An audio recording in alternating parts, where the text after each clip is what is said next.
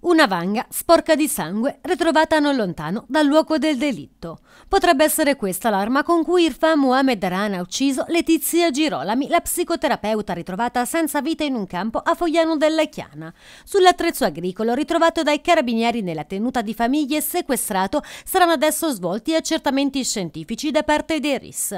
Il 37enne pakistano, ex fidanzato della figlia della vittima accusato di omicidio volontario, l'avrebbe uccisa con uno o più colpi alla testa. A stabilire l'esatta dinamica della morte sarà l'autopsia sul corpo della donna che sarà eseguita domani dall'equipe del professor Mario Gabrielli a Siena. L'esame autoptico dovrà rispondere anche ad altri quesiti, dall'orario della morte al numero dei colpi inferti fino alla compatibilità con l'arnese ritrovato. Il 37enne, dopo la confessione del delitto a poche ore dal ritrovamento del corpo, si è chiuso nel silenzio. Nel corso dell'interrogatorio di garanzia, dopo aver richiesto la presenza di un interprete, si si è infatti avvalso della facoltà di non rispondere. Il GIP ha convalidato il fermo e disposto la custodia cautelare in carcere. Resta ancora da chiarire il movente del delitto.